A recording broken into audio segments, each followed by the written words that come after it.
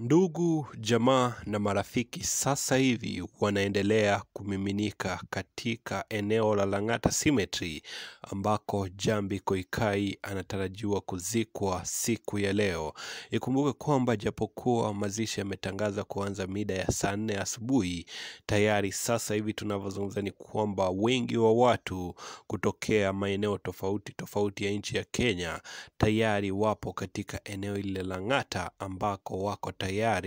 kumpa heshima ya mwisho Jambi Koikai. Ikumbuke kwamba Jambi Koikai aliweza kuaga dunia takriban majuma mawili ambayo yamepita, na hii ni baada yake kupambana na ugonjwa wa endometriosis kwa zaidi ya miaka ishirini, ugonjwa ambao ulikuwa unamuletea maumivu mengi zaidi, hasa kipindi alipokuwa akishuhudia hedhi zake, na hivyo kutokana na hilo aliweza kuaga dunia akipokea matibabu katika mojawapo ya hospitali hapa jijini Nairobi. Njambi Koikai amekuwa akifanyiwa michango na jamaa na marafiki ili kuhakikisha kwamba bills za hospitali zinakuwa offsetted, na hivyo kufikia hapo siku ya jana kuliweza kufanyika memorial service katika kanisa la Nairobi Chapel. Unapata kwamba katika ukumbi huo wengi wa watu celebrities, jamaa na marafiki waliweza kujitokeza kumpa heshima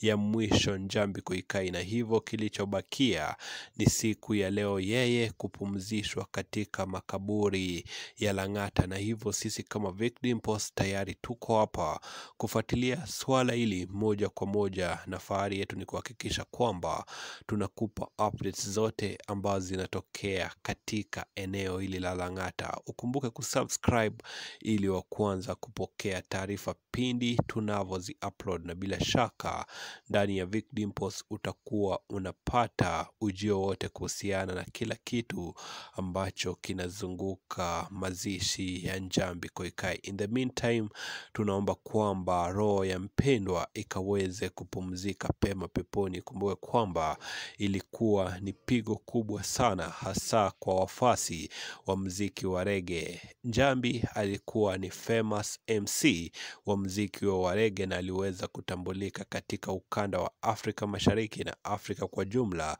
kutokana na juhudi zake katika kusambaza na kuonyesha upendo kwa mziki wa rege, na hivyo siku ya leo bingwa atakuwa anapumzishwa, bingwa atakuwa anapewa heshima za mwisho katika makaburi ya Lang'ata, na ujio wote bila shaka utakuwa unaupokea kwenye chaneli ya Vic Dimples. Tupatane tena.